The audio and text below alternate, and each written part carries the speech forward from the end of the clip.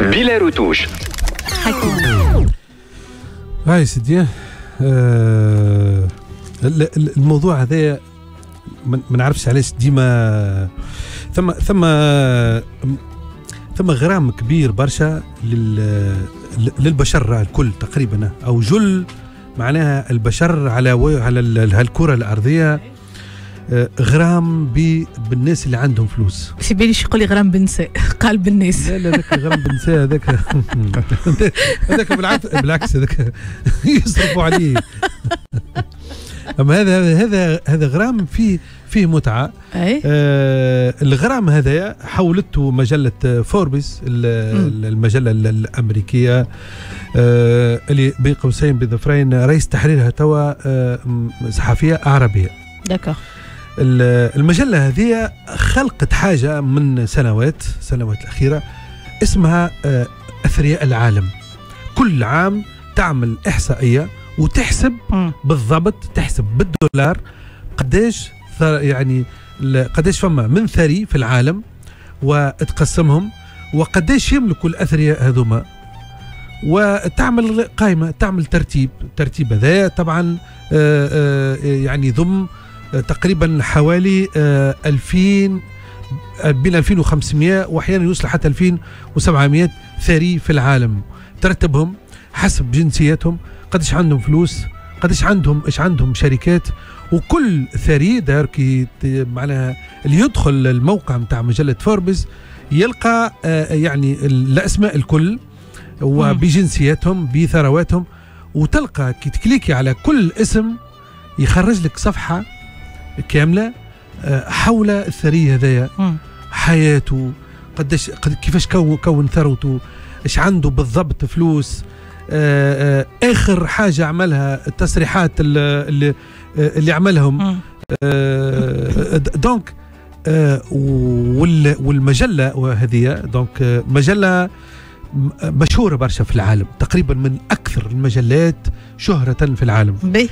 بي donc السنة طبعا الترتيب نتاع السنة ترتيب 2022 آه ثم donc آه إحنا بما أنه آه ننتمي إلى العالم العربي والإسلامي donc آه قلنا خلينا نشوفوا في النسخة الجديدة لعام 2022 اللي خرجتها مجلة فوربس القائمة الجديدة لأثرياء آه العرب. به.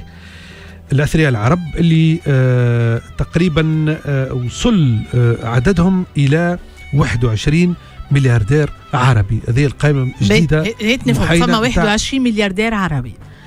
العشرة التوب 10 نتاعهم العشرة top 10 آه يجي آه على رأسهم آه طبعا آه، رجل الأعمال المصري نصيف سويرس يعني نصيف ساويرس اليوم. شقيق نجيب ساويرس معروف رجل الأعمال نجيب المصري. déjà في المرتبة الثالثة نجيب ساويرس. أي.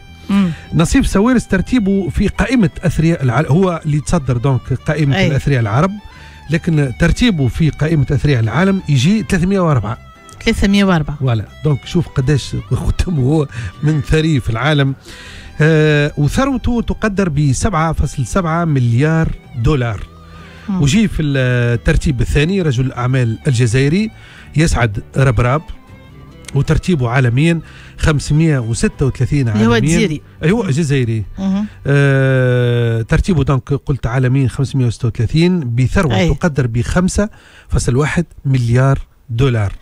لهنا نقولوا لي آه، ويقول لك قد زادت ونقصت بارابور على العام اللي فات. أي. نصيف سوير استاح ب 600 آه، مليون دولار على عام ناول باغ كونتخ ربرب آه، طلع ب 300 مليون دولار. بالضبط. والله مهمين الأرقام هذو. أه جوست واحد يتفرج فيهم مهمين طبعا. مهمين مهمين للورثة. مهمين. مهمين مهمين. تعرف مهمين نحن أي. نطيروا بها بالقلق بس تقولي الناس قاعدة وقاعدة تسمع أكثر في أكثر. انت نتبع في اللي قاعدين يتابعوا. فينا بالحق قاعدين توا يحبوا يسمعوا. يحبوا يعرفوا شكون الأثرياء الكبار في المنطقة العربية. نجيب ساويرس الثالث الترتيب الثالث هو نجيب ساويرس يعرفوه التوانسه خاطر جاء قبل تتذكروا وقت آه، آه، معناها وقت الباجي قايد سبسي الله يرحمه وقت كان رئيس donc جاء زار تونس وعنده علاقات ببعض السياسيين خاصة التوانسة. ونجيب ساويرس آه، هو شقيق ناصف ساويرس. وترتيبه عالميا 883 بصافي ثروة تقدر ب 3.4 مليار دولار يا خليفة. إيه. آه لا لازم يخدم على روحه مش معقول. ناصف عنده 7.4 أي. لا مش خدام. إيه. كرك لازم يكبس روحه شوي. وناصف ونجيب ساويرس donc يعتبروا من أثرياء مصر معروفين طبعا معروفين. حبيت؟ هذا هو معروفين عربي باش اي هو ديما الأثرياء معروفين راهو. معنا مم. ب- ب- فلوسهم تخليهم معروفين. أي. لكن آه، آه، خاصة نجيب ساويرس donc آه، أي. اللي يعتبر من أثرياء مصر معروفين هو شقيقه بعلاقاتهم بقطاع الإعلام مم. ويمتلكوا العديد من القنوات التلفزية أي. والإذاعية ويمتلكوا زاد صحف مم. ومعروفين أيضا بعلاقاتهم بالسياسة أي.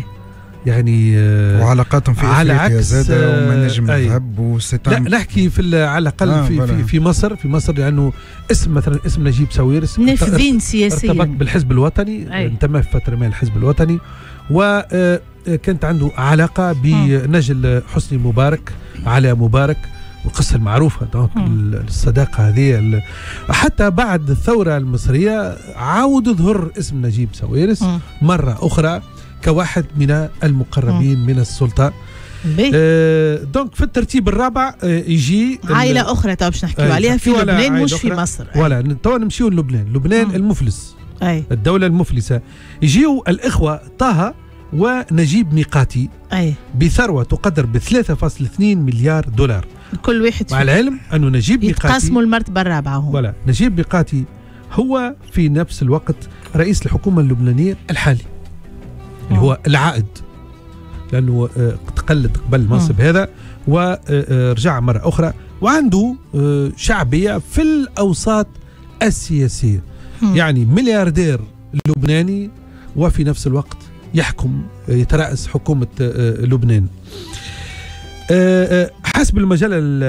الأمريكية فوربس فإنه عدد المليارديرات العرب انقص السنة في تصنيف 2022 أي بعد وفاة الملياردير الإماراتي مجد العظيم.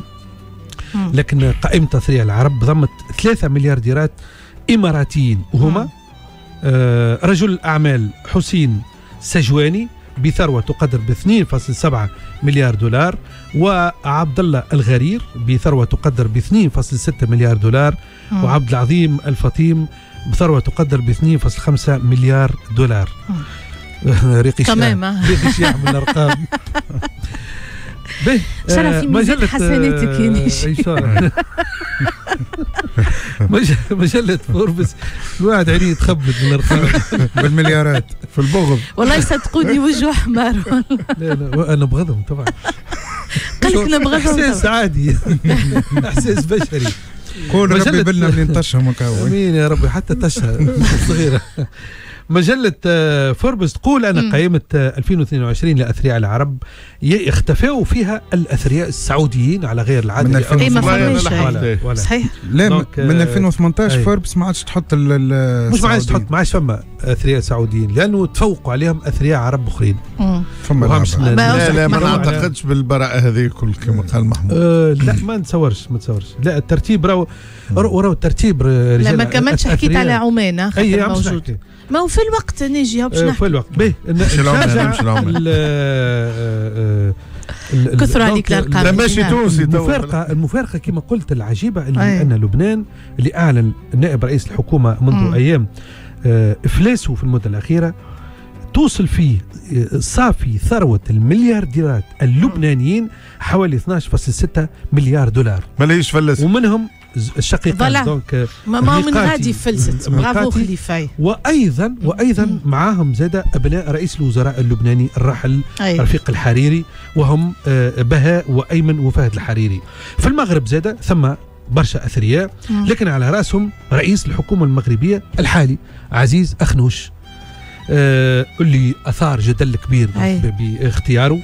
قطر آه، أيضا معروفة بالأثرياء ورجال الأعمال يمثلها في قيمة أثرياء العرب والعالم أثناء فيصل بن قاسم الثاني وحمد بن جاسم الثاني. والزوز هذا من جماعة ما تستغربوش راهو من أفراد العائلة المالكة القطرية. أيوة. في قائمة في قائمة أثرياء العالم. مم. آه، المفاجأة أثناء هو الصعود الصاروخي والمفاجئ لرجل الأعمال الأمريكي إيلون ماسك. إيلون ماسك هذا اللي تربع لأول مرة على عرش آه، قائمة فوربس لأثرياء العالم بصافي ثروة يقدر ب 219 مليار دولار.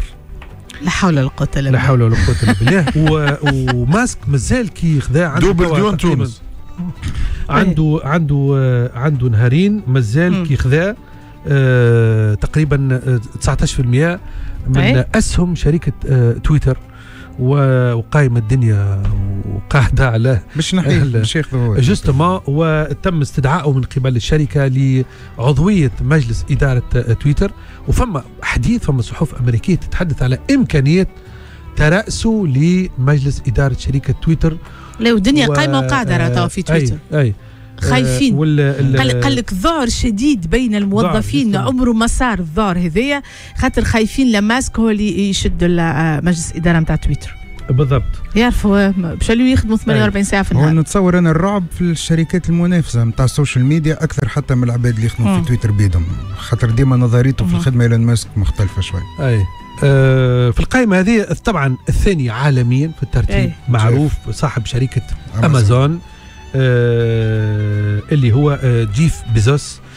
صاحب شركة أمازون. شركة أمازون من اغلى تقريبا أغنى الشركات في العالم. مم. وطبعا موجود بيل جيتس آه صاحب شركة مايك مايكروسوفت يعطيهم مع- الصحه الكل. إحنا مارك زوكربيرغ مم. وغيره. دونك آه ما بقى لي يا جماعة كان آه، باش نختم؟ كلكم شهيه طيبه بمثل في الامان مثل زرع فحص. أي. مثل شعبي. أي. آه قالوه ناس بكري في تونس آه مش في مش في العالم. الله يرحمهم يقول لك البخت مايل والزهر ما عندي اللي نزرعه تفاح يطلع لي هندي.